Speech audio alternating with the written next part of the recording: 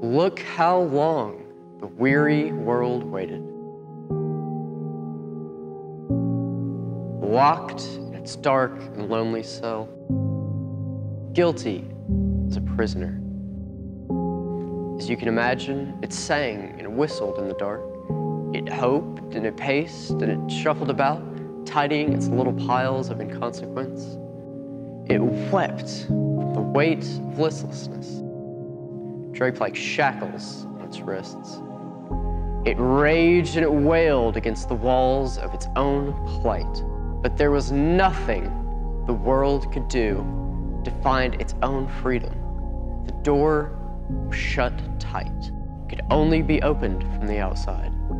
Who could believe the latch would be turned by the tender stem of a rose? By the tiny hand of a newborn baby.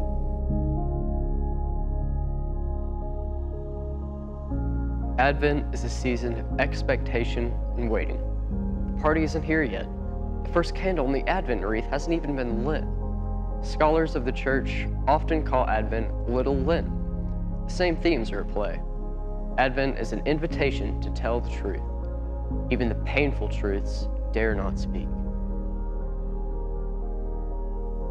Advent invites you to yearn for a better world, to wait here in the in between stuck between the already and not yet. Advent invites you to notice, to look deeper than you've ever looked before, to see things that were just too subtle for other seasons. This is not a season for the faint of heart. Advent begins in the dark.